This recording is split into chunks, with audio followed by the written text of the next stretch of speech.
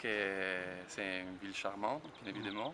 Euh, c'est la première fois que j'ai l'occasion de la visiter euh, et je considère que vu aussi l'intérêt que les, participants ont euh, dans cette formation, je pense qu'on a tous les, points pour vraiment pouvoir faire un bon travail. Est-ce que vous parlez l'arabe?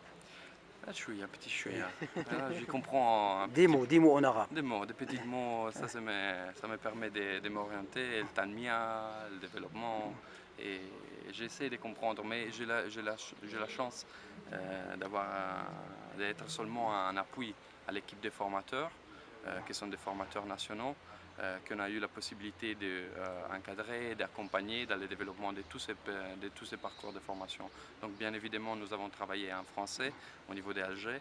Euh, on, a, on a formé environ 50 formateurs nationaux qui maintenant sont déployés dans 8 différentes communes algériennes pour justement répliquer cette formation.